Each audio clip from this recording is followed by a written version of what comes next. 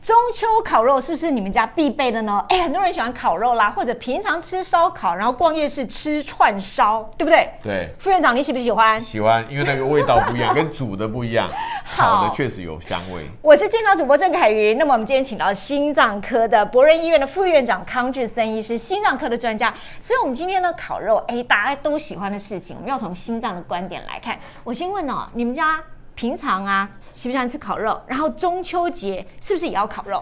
其实你大家知道哦，现在中秋节这个烤肉好像也变成一个国国定节、国定烤肉节。就是小时候那一句广告词嘛，“一家烤肉万家香”，有没有？而且家家户户都烤肉，从这礼拜开始到下礼拜，甚至前后都在烤。嗯，因为烤肉确实很迷人，因为有温度，对，有温暖，对，会觉得有一点火。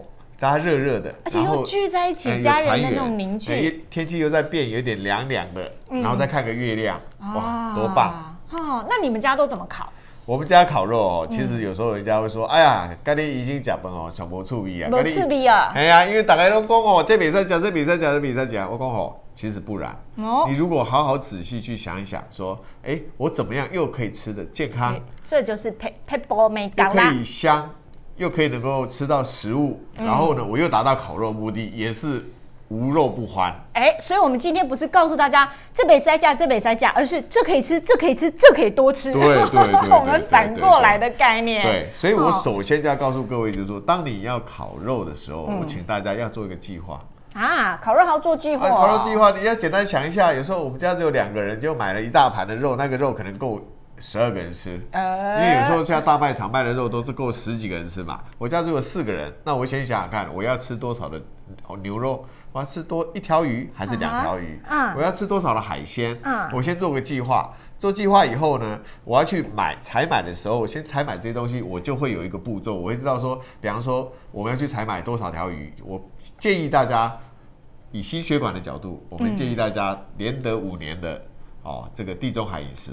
做蓝图，就是全世界最棒的料理，叫地中海饮食料理，它就可以护心嘛。对，那它的特点是什么呢？它特点主要是建议你大量的鱼类，红肉盖两份左右，白肉一两份。那主要是鱼类或者是你一些海鲜，嗯，大然后加上一些，比方说洋葱啦、大蒜啦，好，或者说迷迭香啦、罗勒叶这些来做调味，做调味。你以这些的角度去做准备，是，那你就可以从这样从这里开始去。大卖场先去买东西啦。哦，那你去挑的时候也各请各位挑。第二个事情，你挑的时候呢，尽量不要捡便宜，捡人家已经做好的那个，哎，很多酱料都做好了，很多都说腌好很方便啊，都不用再弄，然后回去只要烤就好了。你说这样子，哎，不好啊。其实有时候五位人爱假做假的，五位人不爱假做假的。嗯，我希望大家还是养成一个习惯哈，自己做。你希望加咸没关系，你就自己加咸。你要加什么料你就加什么料。腌制好的，说实在的哈，跟你的口味第一个也不符合，第二个也不符合健康。为什么？因为腌制好也不晓得。你看你要控制的因素就很多，除了食材新不新鲜，嗯，这些腌料多久以前放的，能放多久？哎，对耶，温度对不对？是，这些都是大问题。所以当你买回来以后，你你买的新鲜的东西，你买的那些佐料。回来以后，你自己做，动手先开始做。而且我也要到提醒大家哈，烤肉之前哈，刚才有一直在跟凯云讲说，烤肉之前哈，我都会先去跑步。哎呦，你还先跑步啊？所以等一下，那如果你平常去吃烧烤，也是先去运动一下。我我通常会先去运动啊，先吃个大餐哈，我就早餐哈先吃少一点，中餐就之前哦就先去跑步，晚餐再好好吃。这个蛮有道理，很多人都想说啊，我要去吃那种吃到饱，我就会先饿个几餐，或者我平常吃三餐的哦，我今天就想说啊，吃两餐就好，就有点这样子的概念，对不对？先把它消耗掉，或者不要吸收这么多。对，所以当你在准备吃这餐，除了你去买。卖场之前哦，拜托早上中午就开始做运动啊！哦啊，准备食材的时候，拜托哈，多花点时间帮你的太太啦，帮你的先生啦，帮你的小孩，哎，出点力啊！不要坐那边当在家了，我不夹，我不夹，莫了，你把它当慢慢做，做就消耗能量，等一下会吃更多。啊哈，所以吃更多。对，所以你准备好以后，把那些的腌制好了以后，记得要注意温度。嗯，因为大家不要忘记了，现在有时候天气还热，可是秋天在变的时候，有时候快，有时候慢。你准备的食材可以放多久？如果有人是下午就准备，那你要先放冰箱。比方说你这个温度没注意，等一下你晚上吃的时候，哇，派题啊，或是说那个食材已经坏掉了，那就不好了，这是很重要的。当你准备好这些食材要去烤的时候，你要注意一下你的烤盘。烤盘，对，我们不是喜欢炭火烤肉吗？炭火烤肉也是一个方法，但是炭火烤肉请务必要注意，炭火直接对火的时候，烧的时候，请大家注意温度不要一下子，有人很很比较贪心啊，加加不吧的，加不吧，哦，我那炭来加做这，你知道？哦，尤其一开始，像大家在聚着烤肉的时候，五个啊十个，一开始的时候都是一下就抢光，然后那个时候确实，呃，肉片就觉得啊，怎么都还没有轮到我，那时候火就会加很大。对，因为旺的大火的时候，很容易造成的这种致癌的物质，或者说对你的这个。这个食物产生很大的伤害。第二个是你你也知道嘛，真的厨师厉害的时候就是那火候控制好啊。可是炭火它本身没办法控制火啊，你煤炭加的越多，它就烤的越旺。你根本不可能不可能把它转小火，你知道吗？就烤上来好发焦了啊，算了，就就吃掉算了。结果这是很可怕的致癌物。对，所以请大家在准备这个的时候要注意啊，你如果是用铁网这种在烤的时候，嗯。除了你直接对火这个东西时间不能太长，还要注意什么？你要一段时间啊，赶快换。哦，对对对，因为那个铁黑掉啦，黑掉，整个黑掉，你都粘到你那个铁盘都已经那样黑掉了，赶快换换，不能说我一盘烤到底，嗯，因为你有不同的食物，加上你加的佐料，会让那个铁盘整个都会。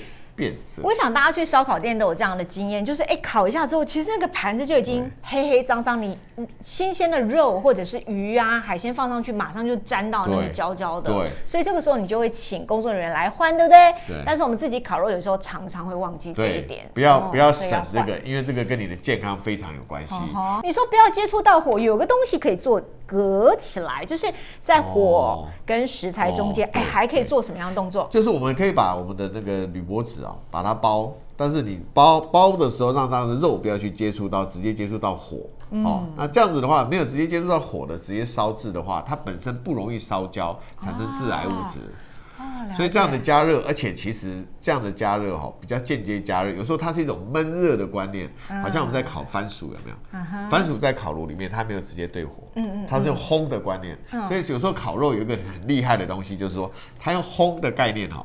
有时候更香哇！你会发现更香。所以那个锡箔纸大家记得哦，亮面包食材，然后雾面在外面，下面是火。然后不管你是平常吃烧烤，或者说哎这个中秋节烤肉都没有关系，哎就是隔着这个锡箔纸的话，其实相对健康，你说就拉高很多。拉高很多，因为你比较不会烤出那种。焦焦炭炭的煤炭的，你在食物上面都焦焦煤炭，那种致癌物就很高。嗯，然后你烤好的这些肉哦，有可能你有五花肉，哦，有可能你有其他的牛肉或者肥的油，嗯，哦，你拜托你旁边准备一个地方，可以给它稍微晾一下。哦，第一个油，第一个油，因为这个油呢，静置一下，这个东西非常重要。很多人拿到第一个哦，有时候哇，金甲金甲第一个哦。烫到哦，马上就又食道发炎了，这又出问题了。所以给它静置，好处就是可以把那些不需要你吃那么多油的负担减少了。那你通常静置多久？你们家？我们通常其实看你旁边的那个烤烤火的温度。嗯，通常一般的话，一般在三十秒左右就看它油滴的情况。还好嘛，哈，大家只要稍微晾一下的概念。如果油滴的很快，当然就就可能时间就是很短就可以了。如果油还在低很多，那你可能还是要等一下。可是那是肉。如果是海鲜的话呢？海鲜的话，大部分不不用静置，就不用海鲜不用，就是有带皮的，可能尽量就是要静置。或是有的人就是不喜不喜欢吃那么多的皮，你在处理的时候，你可以先把皮去掉，嗯，然后再来烤。但有人说吃那么多瘦的不好吃，这这是没错，确实也是没错。对，因为有时候这种油烤出来香味以后，它的产生的这些油油脂哦，你选择一部分来吃，也是达到那个欢乐的目的。嗯，好，副院长他已经从心脏的角度讲了四个点喽。那么，请大家订阅、按赞、分享，还有开启小铃铛哦。后面还有很多，待会儿要跟大家分享的。第一个，你刚刚提到说计划啊，对不对？哎，要先想好计划，甚至呢，比方说好了，我到烧烤店，哎，有时候就是点太多，吃到饱也叫太多，然后就呃吃的很负担，然后又造成很多。心血管问题，这是第一个，因为原来要有计划。第二个，蘸酱尽量自己做。我这边要提到一个哦，其实呃，蘸酱在做的时候，尤其在疫情期间，哦，大蒜啦，或者柠檬啦，然后洋葱啊，像洋葱的虎皮素、大蒜的这个呃硫化物等等，其实对大家健康还有防疫都还蛮好的。然后你可以加一点柠檬，或者是哦，萝卜泥也很好。萝卜泥也很好。对，还有清爽，然后又可以让你这个口感上面呢有一点不一样的层次，然后也不会的哦，好像太油啦或者太咸等等。这是第二个部分，再让自己做。第三个，食物不要直接接触到火，记得要多一层的铝箔纸把它给保护起来。亮面接触食材，雾面呢是放在外面。那第四个呢？哦，原来烤完之后还要。如果烤肉的话，哎，油很多让它滴个三十秒到一分钟左右，然后再来吃就也是减少那个温度对舌头的伤害。嗯嗯嗯嗯。因为有时候这时候你吃的太热的东西，直接接触到你的喉咙。嗯。我们我们已经有研究，这已经是很很确定的研究。是。很多人吃麻辣火锅就是类似这个观念，很辣很烫的东西直接吃进去，一开始是胃食道逆流，接下来可能就会致癌。对，食道所以这个就就烫了，就不大好。OK，好，那副院长。在吃这些的时候，不管我们去呃烧烤店或者中秋节好了，烤肉大家一定都会喝饮料。对。然后呢，啊，第一个大人喝酒，小朋友就喜欢喝汽水啦、养乐多啊之类的。哎，你说小朋友这个，你光听到养乐多，你刚刚说哦不行哦，怎么了？因为我们很多的烧烤食物是属于像香肠这一类腌制品，对，腌制品这些很容易，它加的防腐剂里面会有亚硝酸盐。或是硝酸盐、亚硝酸盐这一类东西，它跟了跟了养乐多以后呢，它会产生致癌的物质，马上就成了食物中会产生反应，所以对你的身体是很大的危害，它是很确定的致癌物质。所以很多人到烧烤店都喝科尔必斯，这是不行的，是是危险的。但是但你吃科尔必斯的时候，你就尽量，你就不是尽量，你是完全不能吃那些那个腌制品、再制品。就是有加防腐剂的这些，或者说是呃培根啊这一类的，就是腌制品。因为腌制品它的防腐剂就是这些东西，所以一定要避掉这些地雷，要不然这个健康危害可能就就就是非常非常大。哎，其实这一点我也一直跟我们家小朋友讲，因为过去啊，如果到吃到饱餐厅，小朋友很喜欢用可尔必斯，因为一般在家里头比较不会喝到这个。对。后来我就跟他讲说，哦，如果你吃香肠或什么这一类的，千万不要一起吃，因为一起吃没有比较好哎。反而是致癌的程度会更高，所以包括优酪乳这些也不可以哦。养乐多啦、可尔必斯啦、优酪乳在烧烤的时候，尤其你有烤香肠这类，就千万不要碰。那啤酒嘞，通常烧烤都得配点啤酒。啤酒哦，这个酒这个东西，很多人都会问啊，就问问医生说啊，听说喝点啤酒啦，喝点酒啦，对身体也不错。我们也可以看得出来哈，在在有个三角形哦。对，我们看得出来，这个很多大型的研究里面哈。都会发现最上面这个很长期的这种这种 randomize 就是临床的研究哈，就是发现新喝酒以后的帮忙哦，其实并没有目前没有很确定它是有帮忙，可能会有些人认为说它对好的胆固醇会有帮忙，会降低一点坏的胆固醇，因为我们知道啤酒里面大部分其实是水。还有一些矿物质啦、啤酒花啦，还有一些呃分类的东西。对，好，但是还有一些糖的东西。所以有人说，因为喝了酒以后呢，它会血管扩张。所以喝酒的人，我们会跟他讲说，喝完酒小心哦，喝酒是利尿。哦。它会让你水分增加，但利尿以后你会缺水。对。所以喝啤酒以后，你水要喝多一点。哦。所以喝酒本身在目前的心脏血管来讲呢，它目前的证据看起来还没有一个很确定说它是对你是不好。或是你对你有多好？不要以为每天喝一杯酒啊，快乐是神仙哦。哎，对啊，因为地中海饮食不是有每一杯红每天一杯红酒吗？但是目前来讲，那是有一部分的证据是这样子。是。但是喝酒也有它的限制啊，就是说你不是说我喝啤酒我就可以这样喝。有的啤酒因为很淡啊，那个酒精浓度很低，一一个一个罐子大概三百三三三百三三百五，一瓶就七百。但喝酒要喝多少？哦，我们要看。对，所以烤肉的时候，大家通常是你以前不喝啤酒吗？呃，烤肉的时候喝啤酒会喝啤酒，很平常哎。像呃很多我看人家在对，因为烤肉又热，对，然后大家就喜欢冰冰凉凉啤酒，然后一人拿这个小罐已经算客气，然后就会干拜。对对对对对对对。对 啊，你从以前就不喝吗？喝喝，因为觉得这个很很素配了。哎，对啊，就速培啊。对，因为一冷一热喝起来非常舒服。嗯，但就是注意几个，一个就是你喝啤酒的时候不要试食，还是要喝点水。哦。因为我们提醒大家，就是说喝酒类的东西会让你身体脱水。哎，酒类会脱水，所有的酒类都是都是，茶也是脱水。如果你只有喝酒跟茶，那是脱水的。嗯，所以你还是要喝一个真正的水。所谓真正的水，就是无糖无盐的这些真正的水，嗯，然后来适时的补充。好，那你喝啤酒以后呢？你你去喝，你再去喝烈酒，也是另外一个问题，因为每个人喝酒不能说你你说混酒是不是？混酒可能也要注意你的问题，因为很多人喝酒的时候发现周围的人呢。哎，奇怪，你喝酒，哎，海云，你喝酒怎么脸会红？脸红啊！他说：“哎呀，我保护色啊，哈，很多女生说，哦，喝酒脸会红，所以保护色啊，没关系啦，保护色你就多喝了，喝两杯，等一下你喝三瓶你就不会红了，哦，因为刚开始喝会红，灌就对了。对，请大家千万不要做这件事情，因为我们根据研究哦，东方人很多人哦，缺了体内缺了这个乙醛乙醛去氢酶兔，所以脸才会红。对。那我们知道，我们喝的酒叫乙醇啊，嗯，酒精是乙醇，它代代谢第一个就代化成乙醛，那乙醛是一个很毒的东西，它靠这个酶再把它变成没有毒的东西。可是有的人身体就缺这乙醛去氢酶，哦，那缺这去氢酶之后怎么办？你把酒喝下去了，等于是说，人是你传你你传来，啊，你无无要给他传走，伫我家做做坏事，乙醇变乙醛的时候变成身体的毒性。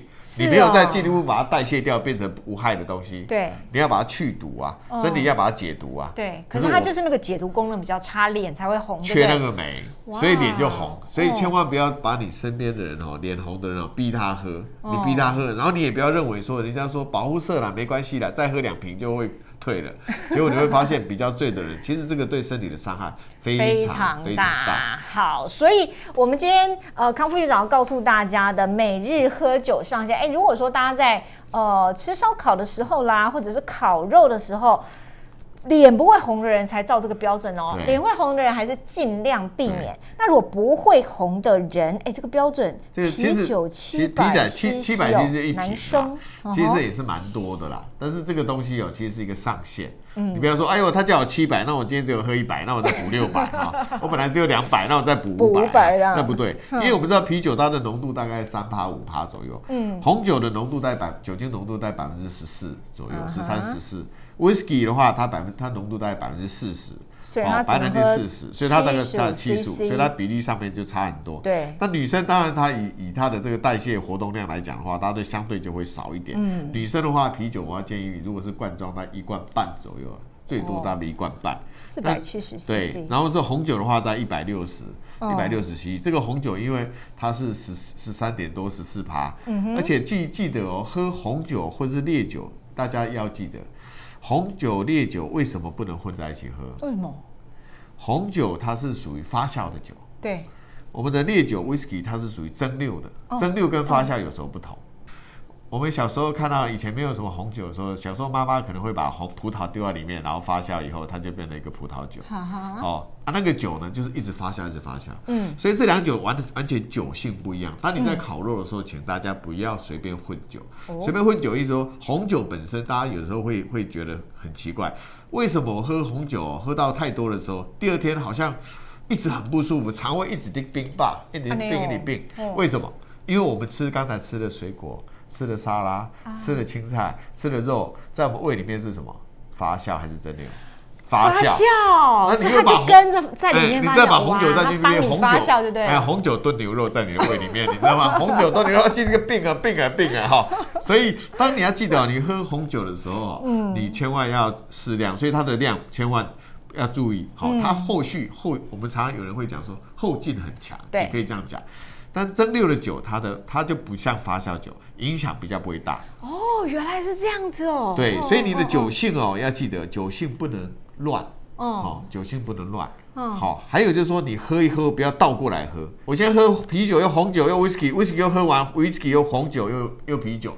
其实倒过来倒过去喝的时候，你身体的适应性会有问题。你的意思是说，酒精浓度比较低的先喝，再喝高的，不要高的再倒回来倒过来喝就对了。然后尤其是蒸馏酒跟发酵酒，千万不要混在一起喝。嗯嗯嗯。因为有些人吃发酵酒以后，比方说喝完红酒，你明明明就是已经是一个葡萄汁做成的，对，发酵的，嗯，结果我又去吃，等一下又吃水果。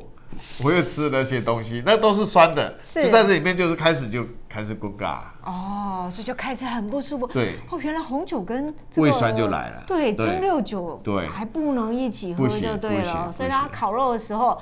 很多没搞哦。好，所以啤酒呢，如果要配的话可以，但是就记得男生一天呢就是七百 CC 的量，女生一天就四百七十 CC 的量。但如果脸会红的人就尽量避免啦哈。好，最后我问你哦，啊，心脏科医师，你说其实很怕大家。那种烧烤吃到饱，是因为有一些节庆之后，常常病人就来了，是？对，很多人其实是被烧烤这种我们说吃到饱害到生病的了哈。其实我们说病从口入，其实再来还还真的要管好自己的嘴巴。有时候我们会觉得说啊，我只有吃一点点，可是一盘都夹的好满满的，为什么要回本嘛？哈，捞本，你知道吗？不是想要捞本，不吃白不吃，你知道吗？平常平常大家很奇怪哦，你大家注意到我们去五星级饭店哈，早餐你早餐吃多什么东西？你说平常他五星，平常你平常早上啊，平常可能。吐司啊，蛋啊，然后再加一点点水果，对，就这样简简单单嘛。对啊，像我也是，我吃燕麦啊，然后吃牛奶、坚果。可是很奇怪，你到五星级饭店住住宿的时候，那个早餐那么多样，你为什么你都吃了十盘以上？中午你也是，你在家可能吃个便当，或者是你煮个菜。嗯，奇怪，你怎么去了那个五星级饭店以后吃到饱以后，你突然什么胃胃口大开，然后吃到肚子撑出来，你知道？然后盘子一直叠起来这样。嗯，所以这个东西其实还是要告诉大家，突然。这种暴饮暴食的情况哦，对自己身体是心脏心脏是怎么样？心脏会对负荷很大，因为心脏的除了你那个血脂的控制会不容易，是。糖分的控制会不容易，所以请大家哦选择有一个方法，我会教各位说，选择你觉得你最想吃，或者你觉得你平常最不容易吃到的，嗯，你必须在这个餐厅找到，你不要拿个平常你都吃得到的，然后你吃很多，嗯，你选择几样。哦，今天我就是只供这几样就好了。嗯，我选择这几样。嗯，明天我供这几样，你不要觉得去去捞本，真的捞出还回来的本只够来看病而已。捞回来本只够看病。所以不管是要烤肉，或者是到这个烧肉店啊，还是说要吃吃到饱，哎，都是要有计划的哦。这就是心脏科医师他聪明的脑袋教大家的。所以今天，哎，如果你要吃烧烤、中秋烤肉，六大方法包括了除了有计划，然后自己做酱料之外呢，那么第三个。火跟食材之间隔一层。第四个，静置一小段时间，让它油滴下来。第五个，你喝的饮料要选哦，养乐多、优酪乳、科尔必斯这些就不要跟烧烤，尤其是像香肠之类一起，因为太危险了。那酒，我们刚才也告诉大家，第五类是饮料。第六就是，哎，在聚餐前跟聚餐后，记得让自己多动一动。就希望大家吃烧烤也可以吃的健康。对，健康快乐，而且都可以吃啊。没错，好，那我们就谢谢康副院长来到凯源的直播喽。我们下次见，祝大家都健康快乐，拜拜。